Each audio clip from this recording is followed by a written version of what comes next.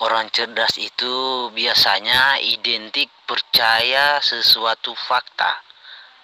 Bukan katanya katanya, tapi fakta yang terbukti. Itu biasanya eh, orang cerdas identik seperti itu. Nggak, tidak mungkin orang cerdas percaya dengan hal-hal yang tidak pernah terbukti.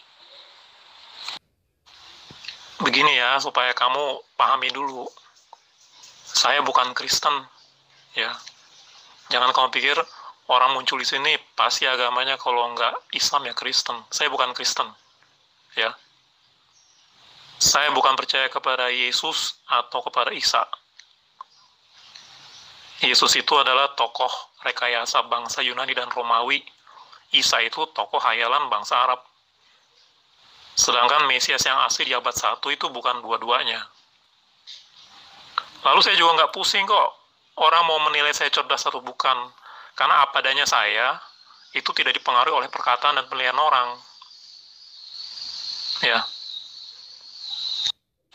Ya gue demen itu bro. Percaya sesuatu fakta. Bener itu gue setuju. Harus ada faktanya. Harus ada datanya. Kan gitu bro. Nah, gue demen itu. Setuju saya bukan asal ngomong bukan asal klaim. Kan gitu ya? Nah, udah men itu contoh misalnya nih membuktikan Yesus Tuhan. Harus ada faktanya dari kata-kata Yesus sendiri. Kan begitu?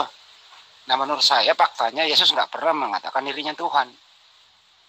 Nah untuk mengukur kecerdasan dari mana anda saudara kita Kristen mengatakan Yesus Tuhan Sedangkan Yesus sendiri nggak pernah mengaku Tuhan. Nah, cerdasnya di mana? Kalau masih tetap menganggap Yesus Tuhan. Datanya nggak ada. Gimana, bro? Nggak, jangan pusing, mas. Saya juga nggak membiarkan Anda pusing. Kasihan kalau Anda pusing. Jangan. Mending tetap Anda dalam keadaan cerdas. Dan tetap dalam kondisi prima. Mempertahankan keyakinan Anda. Aku demen orang yang tetap teguh pada pendirian. Ngomong apa adanya. Tapi dengan catatan, jangan sampai berbicara tidak ada fakta. Kan gitu. Kalau Anda menolak silahkan itu hak Anda gitu. Kan gitu. Boleh kita diskusi lanjut bro.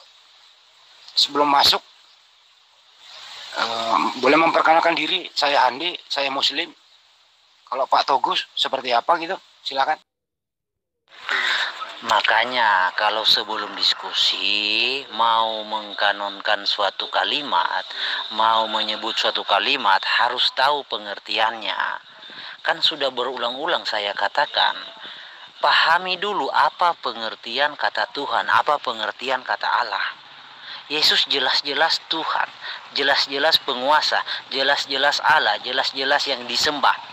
Nah, yang jadi pertanyaan, kalau berbicara akal, berbicara logika, berbicara eh orang-orang yang cerdas, ya kan syarat kecerdasan kecerdasan kan percaya fakta. Nah, sekarang pertanyaan saya, ala SWT itu fakta enggak? Bisa terbukti ada enggak? Ada historinya enggak? Dia pernah eksis.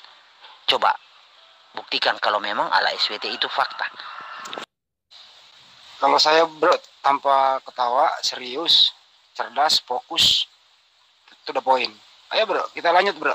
Perkenalkan diri anda dulu. Kalau Yesus jelas-jelas Tuhan, jelas-jelas Allah, jelas-jelas penguasa, jelas-jelas maha pencipta. Tentu dong bisa dibuktikan melalui kecerdasan dan fakta. Kan gitu bro. Nah kalau hanya sekedar asumsi, ya saya mohon maaf. Saya belum percaya gitu. Di mana sumbernya itu untuk membuktikan argumen Bro Herdi? Ya tentu ada di Bible Anda. Tidak ada tempat lain untuk mengambil kecuali di Bible Anda. Rujukannya.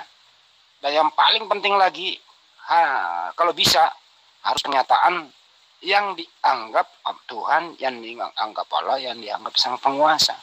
Siapakah itu? Harus pernyataan Yesus sendiri. Itu baru valid. Begono lo bro. Nanti saja, jangan sekarang. Ini saya belum selesaikan urusan saya nih pagi ini. Ya. Oke, nggak apa-apa, Pak. Oke. Mas kenal ya, Pak Teguh.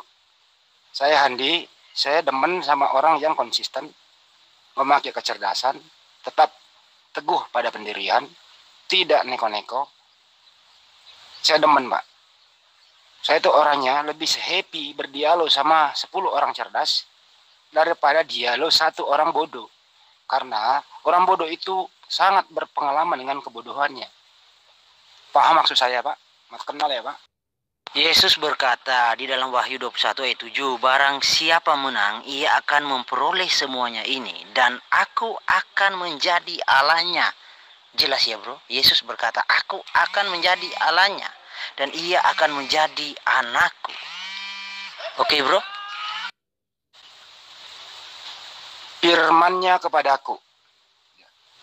Firmannya kepadaku. Siapakah yang berfirman? Siapakah yang menerima firman di sini? Firmannya lagi kepadaku.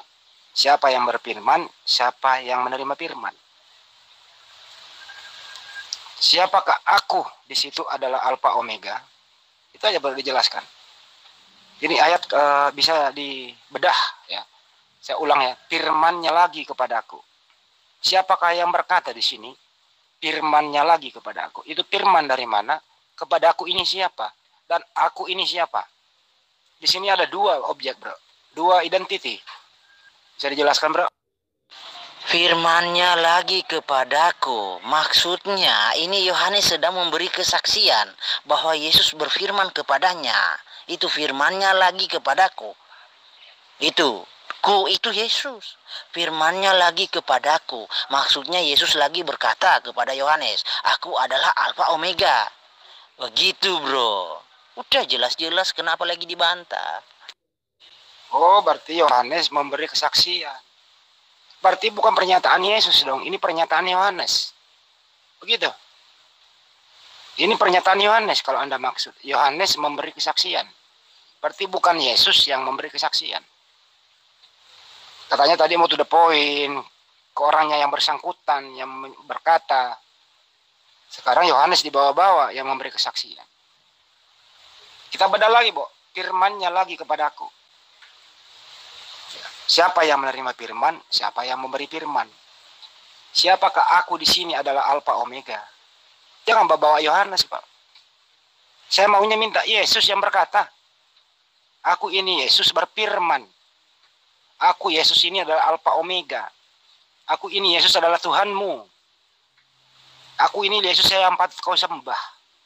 Aku ini Yesuslah yang menciptakan alam semesta.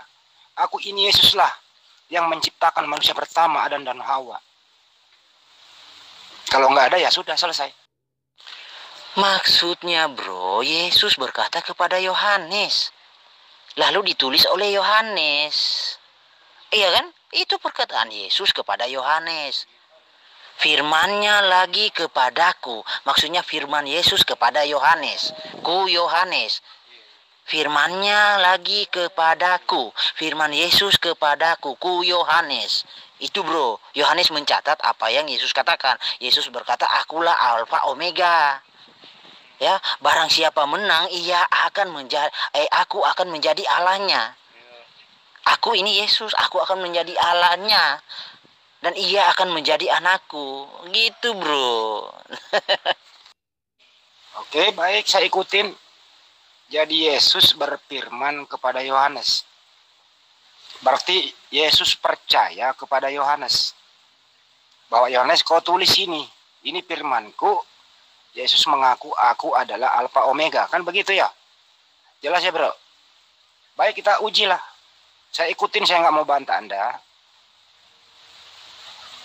Anda sudah mengatakan Yesus berkata kepada Yohanes bahwa ini aku Yesus tulis Yohanes, aku ini Alfa Omega.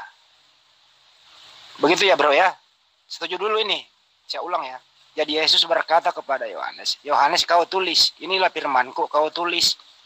Aku ini Yesus, aku adalah Alfa Omega. Yang awal dan yang akhir. Kata Yesus kepada Yohanes. Betul ya bro? Bro, Yesus berkata, akulah Alfa Omega. Lalu bro mau bantah apa? Iya benar. Yesus berkata, Yesus mengakui dirinya, aku adalah Alfa Omega. Ditulis oleh Yohanes. Yohanes menulis. Yesus memberitahu kepada Yohanes, "Oh Yohanes, lu tulis ini." Kata gampangnya ya. Yohanes lu tulis ini, ini aku Yesus adalah Alfa Omega, yang awal dan yang akhir. Kata Yesus nih, Yohanes tulis. Nah, kan begitu. Ini wahyu perjanjian lama apa perjanjian baru, Bro? Wahyu. Aku belum tahu nih serius. Ini wahyu ini perjanjian lama apa perjanjian baru? Lalu, lalu, lalu, bro mau komplain apa di situ? Bau, bro mau sanggah apa? Ya udah setuju ya. Kalau Yesus Alfa dan Omega, apakah betul Yesus yang menciptakan alam semesta ini? Yang namanya Alpha Omega, Yesus paling awal. Yang namanya paling awal, bro, pasti dia yang menciptakan segala sesuatunya. Setuju yo? Pasti setuju ini. Mari kita cek apakah betul Yesus yang menciptakan alam semesta ini termasuk manusia. Kita sinkronkan ini ayat. Benar nggak ini? Gimana bro? Bisa dibuktikan? Tentu dengan sistem penciptaan alam semesta. Struktur penciptaan alam semesta. Benar nggak di situ ada kata Yesus? Silakan bro. Begini bro ya, jadi sebelum Yesus lahir dia itu adalah sang firman. Ya, dia itu Allah, dia itu YHWH. Sebelum Yesus nampak dalam wujudnya sebagai anak manusia, dia itu adalah YHWH. Sang firman. Ya, makanya Yesus berkata, sebelum Abraham jadi, aku sudah ada. Jadi Yesus ini adalah sang kekekalan yang nampak dalam wujud kemanusiaan. Begitu bro. Saya bertanya dulu kepada Anda. Biar cepat gitu. Sebelum Yesus lahir, ya, dia Yesus Alfa Omega. Waktu dia beralfa Omega ini, dia namanya siapa? Dipanggil siapa? Dipanggil siapakah Yesus ini? dalam hal Alpha Omega sebelum dia ada di muka bumi. Siapakah namanya? Dipanggil apakah dia itu? Namanya kan YHWH, disebutkan namanya YHWH. Aku YHWH. Hah? Tidak ada juru selamat selain daripadaku. Aku YHWH. Lalu ulangan namanya tempat. Dengarlah hai Israel. YHWH itu Allah kita. YHWH itu Esa. Ya. Jelas ya, Bro? Oke. Okay. Jangan berbicara dulu setelah Yesus ada di muka bumi, bro. Yesus Alpha Omega. Kita bicarakan dulu awalnya ini. Kita berbicara awal dulu. Jangan dicampur-campur. Jadi, nama Yesus sebelum lahir di bumi, waktu dia mengatakan, waktu dia dalam posisi Alpha Omega, awal ini belum terjadi apa-apa. Namanya YHWH atau Allah. Atau Yesus. Coba disinkronkan dulu, ambil satu nama bro. Sebelum tercipta segala sesuatu, Yesus Alfa, awal, dia paling awal sebelum ada apa-apa, dia ada duluan. Namanya siapa? Yesus, YHWH, apa Allah? Tentukan dulu satu nama bro, baru kita masuk. Jelas ya maksudnya ya? Kan sudah dibilang bro, sudah dijelaskan sebelum Yesus nampak di dalam wujud kemanusiaan, dia adalah YHWH. Nama sebutannya adalah YHWH. Yahweh, Yehova, itu nama sebutannya. Oke, Yahweh, YHWH, Yehova. Baik. Kita cek. Kita cek. Bisakah Anda membuktikan awal YHWH ini YHWH ini yang menciptakan alam semesta. Struktur penciptaan alam semesta. Apakah YHWH ini yang menciptakan? Pakai YHWH terus ya bro. Jangan ganti-ganti nama lagi. Bisa Anda buktikan kalau YHWH ini atau Yahweh ini yang menciptakan alam semesta dan manusia. Ya udah nggak usah panjang-panjang bro. Kita fokus sudah YHWH. Satu. Satu nama kita pakai YHWH. Jadi nama Yesus sebelum dia di bumi namanya YHWH. Baik, kita cek. Benar nggak ini YHWH yang menciptakan alam semesta? Bisa kita cek bro, struktur penciptaan alam semesta. Bisa kita cek. Apa saya yang upload ayat kejadian? Apa Anda bro? Bro, apa saya yang upload ayat kejadian? Apa situ yang upload ayat kejadian? Kita cek. Apakah di situ ada YHWH? Apakah benar sistem penciptaan YHWH itu? Kita cek bro. Saya upload apa Anda yang upload? Saya tahu kamu bro. Kamu kan menggunakan terjemahan Allah. Elohim. Lalu dijelaskan siapa Elohim? Siapa sesembahan? Dijelaskan kan sesembahan itu nama sebutannya adalah YHWH. Yod He Waw He. Ya kan? Bukan Allah SWT bro. Cari tahu bro, yang Allah itu siapa? Elohim yang menciptakan, Allah yang menciptakan itu siapa? Sebab ada banyak Allah di dalam dunia ini. Dan dijelaskan, Allah yang menciptakan, nama sebutannya itu YHWH. Ya kan? Bukan Allah SWT bro. Allah SWT itu jauh dari kata mungkin. Bukan, bukan Allah SWT. Sebab Allah SWT tidak memiliki nama sebutan YHWH. Tidak ada. Ya kan? Ini nggak usah langsung langsung to the point bro. Fokus ke Yahweh bro. Fokus ke Yahweh. Apakah di kejadian saat itu ada yang namanya Yahweh? Saya tanya dulu Anda. Gampang kalau sama saya. Kecuali Anda mempersulit diri sendiri bro. Apakah di kejadian satu penciptaan alam semesta itu ada yang namanya Yahweh atau tidak ada? Kalau ada kita teruskan, kalau tidak ada ya stop. Di situ kejadian satu tertulis Elohim. Nah, yang jadi pertanyaan, kan ada banyak Elohim. Hah? Elohim mana yang menciptakan? Kan dijelaskan di kejadian 2 ayat 4. Elohim yang menciptakan itu YHWH. Nama sebutannya YHWH. Jadi Elohim itu bukan Allah SWT bro. Terjemahan Indonesia memang menguntungkan Islam. Tetapi secara histori tidak ada sangkut pautnya dengan ala SWT. Begitu bro. Oke, nggak usah, jangan bertanya bro, jangan bertanya gitu. Baik, jadi tidak sinkron pernyataan Anda yang menyatakan bahwa nama Yesus sebelum ada atau alfa atau awal adalah YHWH terbukti sudah bahwa Anda keliru. Karena penciptaan alam semesta itu tidak ada namanya Yahweh ada Elohim. Ya kenapa anda nggak menyebut saja Elohim dari awal? Loh. Jadi terbukti anda keliru. Sorry bro. Anda keliru sekarang saya kasih kesempatan ke anda. Tetap berpegang teguh Yahweh atau mau diganti Elohim. Silakan. Bro jangan lompat dulu ke ayat duanya. Ya, kita ini berbicara awal bro. Yang namanya awal itu yang pertama dulu. Jangan lompat dulu ke yang kedua. Santai bro. Sama Andi enak ini terstruktur terprogram. Eh enak kalau sama Andi bro. Nggak neko-neko gitu loh sopan santun cerdas ilmiah terpercaya kalau sama Andi bro fokus dulu jangan lompat yang kedua yang satu aja belum bro saya kasih kesempatan ke anda gitu loh karena ini berbicara awal, belum berbicara omega. Awal Anda mengatakan namanya YHWH, Yahweh. Setelah dicek di kejadian satu, nggak ada nama Yahweh. Hanya Elohim. Anda mau ganti Yahweh menjadi Elohim, apa tetap dalam pendirian atau pendapat semula? Jangan lompat-lompat.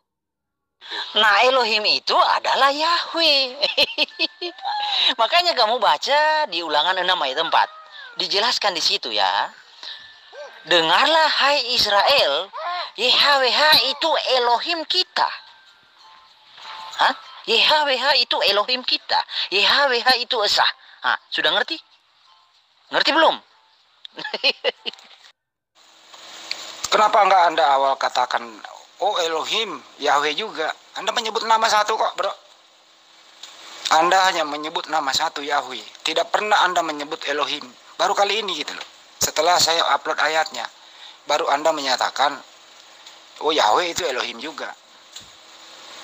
Berarti Yahweh itu Elohim juga, Yahweh itu Yesus juga. dulu sampai sini dulu ya Yahweh itu Elohim juga Yahweh itu Yesus juga. Setuju apa enggak nih? Anda kok lompat lagi ke ulangan sih bro? Aduh jangan mempersulit diri sendiri bro. Fokus saja kejadian satu dulu.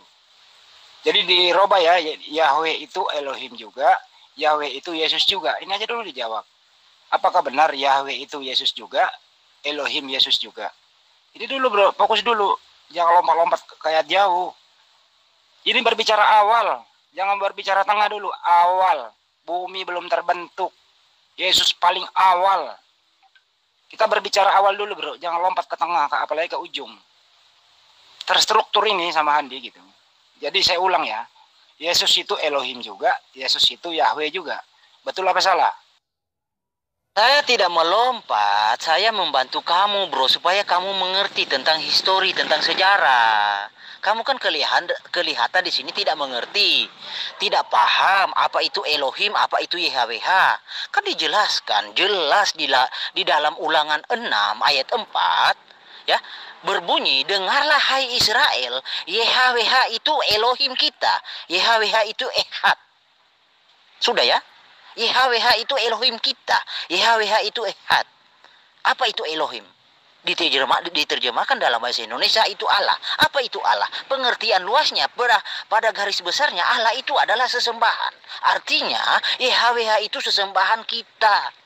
Paham nggak bro? Sudah dengan detail saya, saya menjelaskan terlalu bro kalau tidak paham. Nggak usah dibantu, saya udah ikut, nggak usah dibalik pengertian. Udah ngerti saya tujuan kamu, udah. Nggak usah pakai ulangan segala, udah. Langsung iakan aja, Yesus itu Elohim juga, Yesus itu Yahweh juga. Betul apa salah? Saya tidak lompat. Saya mau membantu kamu, bro, supaya kamu mengerti. Nah, Elohimnya orang Israel itu siapa nama sebutannya? Kan ada banyak Elohim. Di dalam dunia ini ada banyak Elohim. Tahu nggak? Banyak Elohim, banyak Adonai di dalam dunia ini banyak. Ya, nama sebutannya YHWH, tentagramnya Yot He Wow He itu bukan ala SWT bro. ya paham ya bro? Gak usah dibantu, udah ngerti saya. Ini langsung iyain aja, iyain aja. Apakah Yesus itu Elohim juga? Apakah Yesus itu Yahweh juga? Yahweh Elohim Yesus sama? Saya ulang, Yahweh Elohim Yesus, apakah itu sama? Apa berbeda? bro nggak usah dibantu saya saya udah ngerti anda tinggal komitmen aja. Apakah Yesus Yahweh Elohim itu sama atau berbeda? Saya ulang. Apakah Yahweh Elohim Yesus itu sama atau berbeda? Makanya saya bantu jelaskan pertanyaan kamu saja salah bro. Elohim itu kata jamak Elohim itu bukan tunggal. Him, im, im, im itu jamak. Makanya saya bantu jelaskan. Lah kalau tidak tahu dengar bro. Jangan eh membuktikan seolah-olah tahu tapi tidak tahu.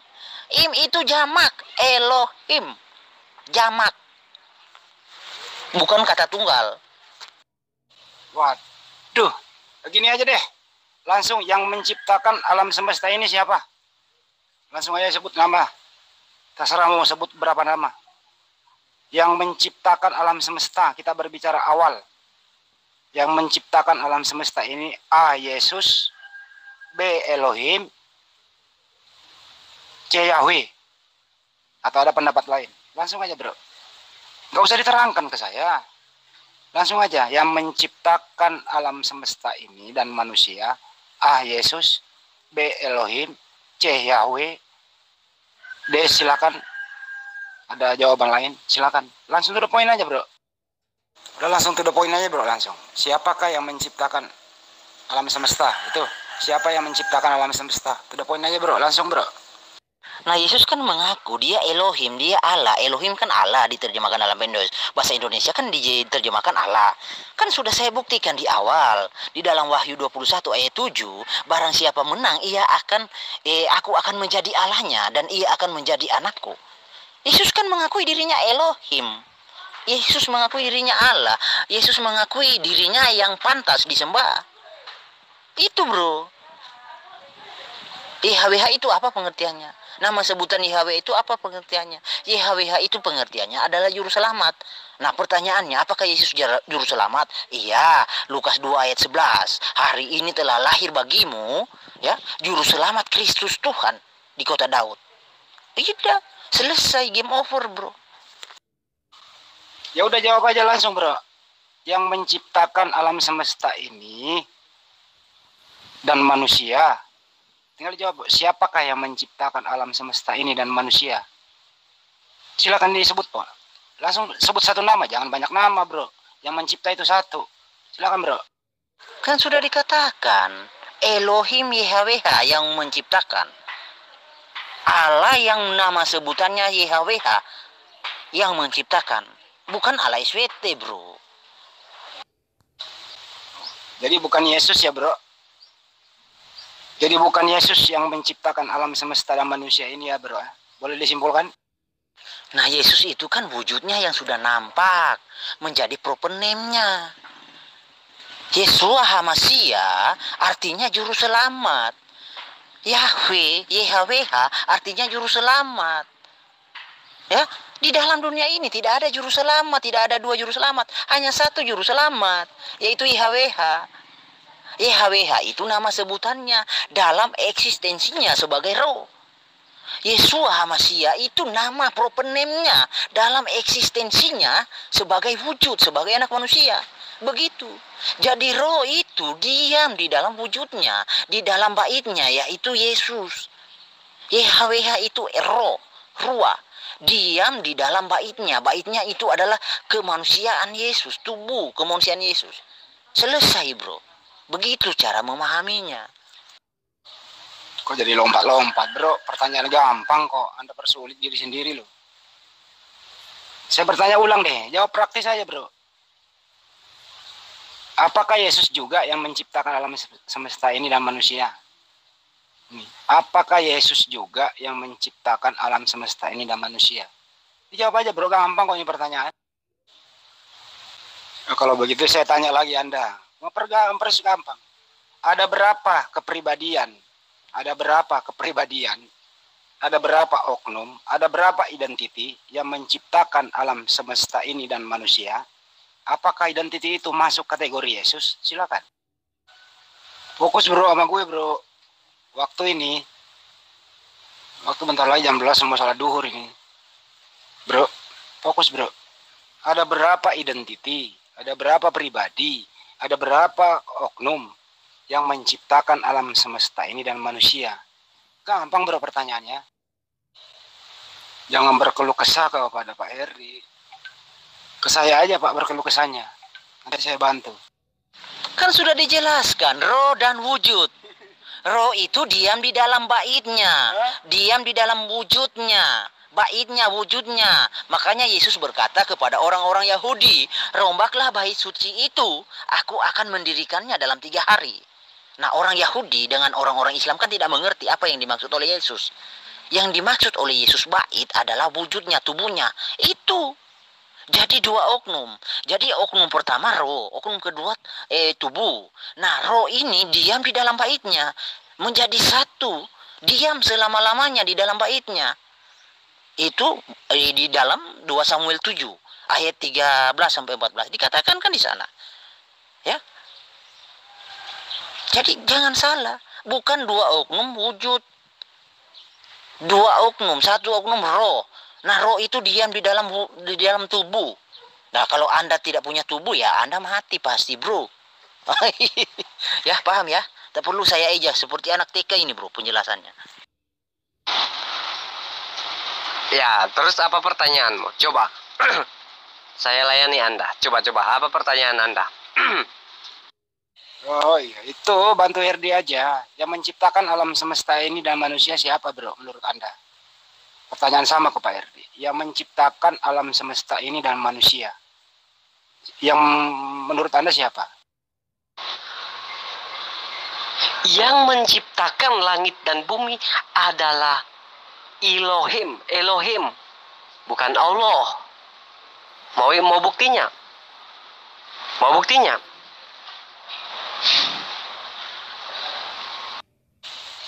Jadi yang menciptakan alam semesta dan manusia adalah Elohim.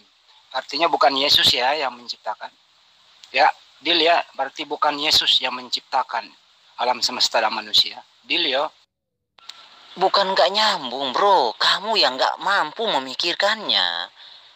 Kan sudah saya bawakan ayatnya di dalam kitab Yesaya bahwa yang awal dan yang akhir Alfa Omega itu adalah YHWH. Lalu Yesus mengatakan dirinya Alfa Omega di dalam kitab Wahyu. Ya, jadi kalau memang itu ada dua Alfa Omega ke nggak mungkin lah. Hasem itu berbohong. Hasem itu membuat sesuatu statement yang yang kontradiksi nggak mungkin. Karena Hasim itu eksistensinya adalah roh, ruah yang masuk akal lah. Masuk dalam orang-orang cerdas berpikir roh itu diam di dalam wujud, ya masuk akal. Masuk akal. Kok saya disuruh berpikir, orang situ yang menjawab kok bro. Ada berapa identiti yang menciptakan alam semesta ini? Ya, ada berapa pribadi, ada berapa oknum?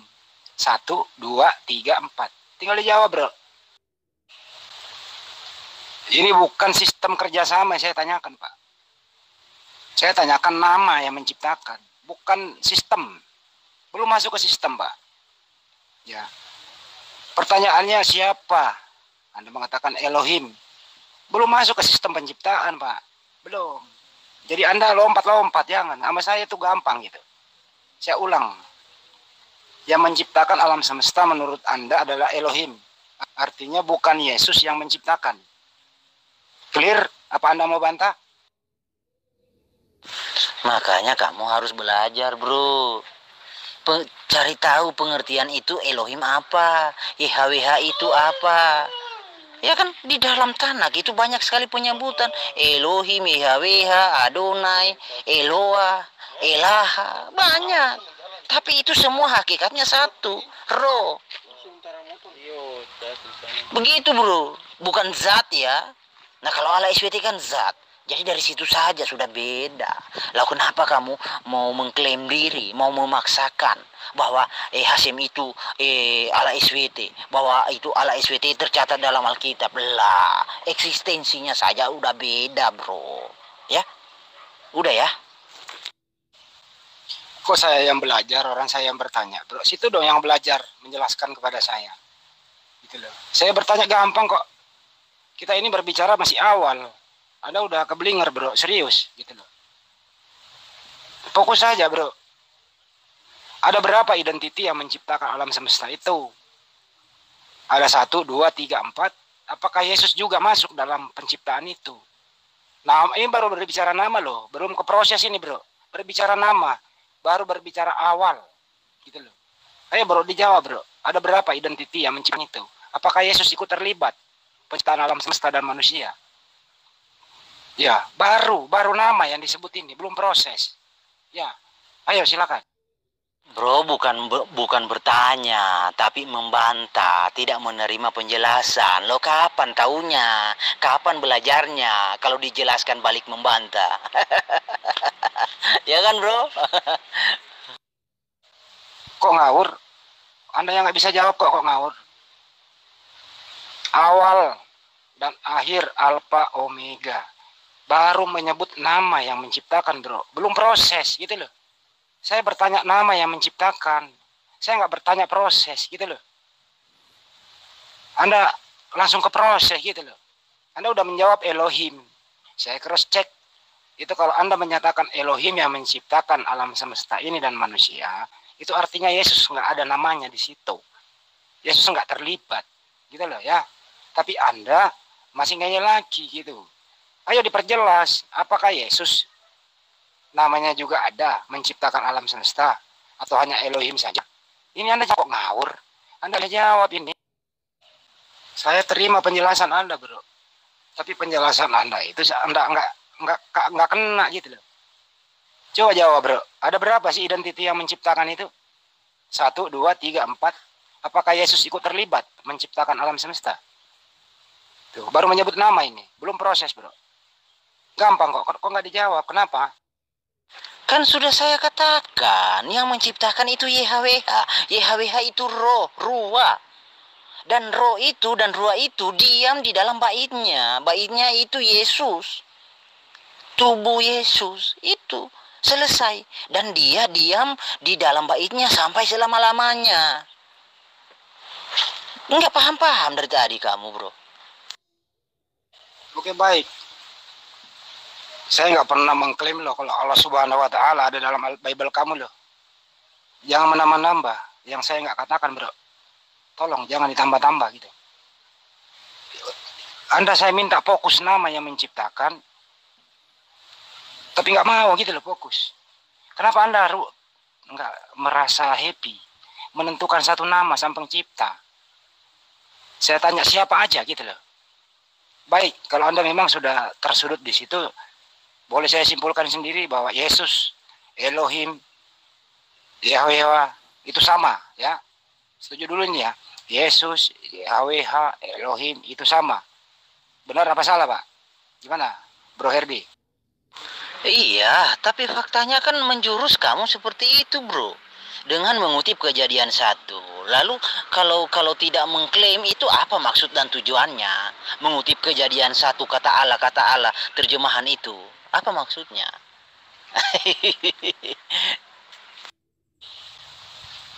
kalau saya nggak mengutip kejadian satu, saya mengutip apa, bro? Bro, saya kalau kutip kejadian satu, struktur sistem pencipta alam semesta di Babel kamu, saya kutip apa? Untuk saya menghindari fitnah, menghindari sesuatu yang tidak masuk akal, dari awal kita sudah sepakat harus cerdas, valid, disertai data yang valid. Nah saya kutip lah ayat kamu untuk membuktikan benar nggak itu Yesus Alfa Omega. Kelirunya di mana gitu loh. Justru Anda yang sepanjang perdebatan Anda mengalami kesulitan. Menyebut satu nama saja, penciptaan Anda sudah keblinger gitu loh bro. Nah ini, inilah sulitnya bro. Kalau Anda itu beran, apa, namanya uh, mengenal atau memakai istilah Trinitas. Inilah sulitnya. Kalau Yesus Anda setarakan dengan Allah, uh, dengan Elohim lah, dengan Yahweh lah, nggak mungkin setara. Anda mau memasukkan Yesus di situ, Anda kesulitan. Belum lagi yang disembah Nabi Musa. Saya belum ke sana ya. Nggak mungkin Yesus gitu loh. Kita fokus kejadian satu. Gimana bro? Kita kita bahas kejadian satu. Anda punya waktu? kita cek apakah ayat ini benar apa enggak gimana bro lanjut curhat om. Dia lagi curhat. Sabar aja om. Kasihan dia. Dia lagi curhat. Oh curhat. Oh orangnya curhat. Ya udah wes lah. Saya paling malas orang curhat. Mengaku pinter cerdas tapi ilmunya nggak ada. Oh saya itu santai. Santai kok. Saya nggak emosi. Cuma gue itu malas melayani orang dungu seperti Anda semua ini. Ya, gitu aja. Ya kalau nggak emosi kenapa nggak jawab? Karena dari awal mengatakan dia menciptakan alam semesta Elohim. Clear kan? Berarti saya bertanya balik. Berarti kalau Elohim yang menciptakan berarti bukan Yesus dong. Setuju apa enggak? Setuju enggak kalau bukan Yesus yang menciptakan? Sesuai dengan pernyataan Anda, gimana? Setuju apa enggak? sama gue aja lu emosi bro gak bisa jawab apa-apa jangan terlalu takabur sombong bro. Sama saya aja anda nggak bisa ngapa-ngapain. Kecuali emosi. Ujung-ujungnya nanti anda nangis loh. Gini gini gini. Bukan saya tidak membuka postcode anda. Atau menjawab uh, pertanyaan anda. Tapi karena Anda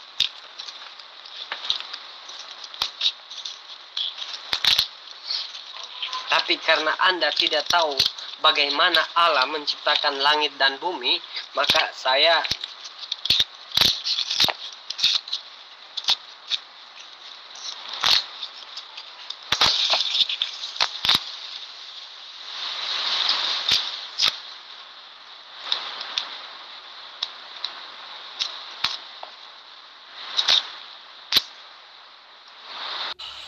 Anda langsung ke proses, bro. Ini belum bicara proses. Saya minta tentukan dulu siapa nama yang menciptakan itu. Baru ke prosesnya, bro. Kan gitu. Anda udah menyatakan Elohim. Saya setuju dengan Anda, artinya bukan Yesus yang menciptakan. Kalau udah deal, kita masuk ke prosesnya.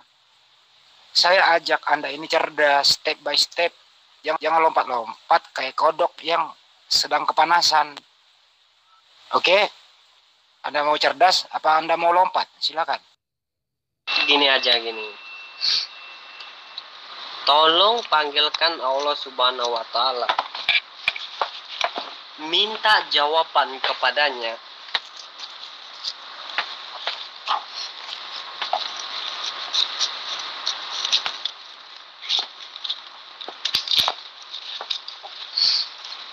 Apakah roh itu benda mati dan apakah yang tidak mempunyai roh adalah benda mati? Benda mati ada dua benda. Satu, patung. Dua, batu. Weh, sama hambanya aja. Lu udah kelenger nangis kayak kodok kelaparan. Nggak boleh kabur gitu bro. Coba kalau saya mengat, meminta balik. Kan nggak, nggak logis itu ya. Ayo tentukan dulu siapa itu yang menciptakan. Elohim kah apa Yesus kah? Jangan terlalu jauh, nanti kau jatuh. Demikianlah perdebatan antara Bro Herdi dibantu dengan temannya bernama Laskar Kristus. Semoga kaum muslimin dan muslimat dapat mencerna dengan baik bahwa betapa rumitnya, betapa sulitnya ajaran Trinitas itu. Sehingga membuat penganutnya, pengikutnya mengalami kesulitan di mana pun berada, termasuk dalam arena debat ini. Semoga bermanfaat untuk kalian semua. Terima kasih. Wassalamualaikum warahmatullahi wabarakatuh.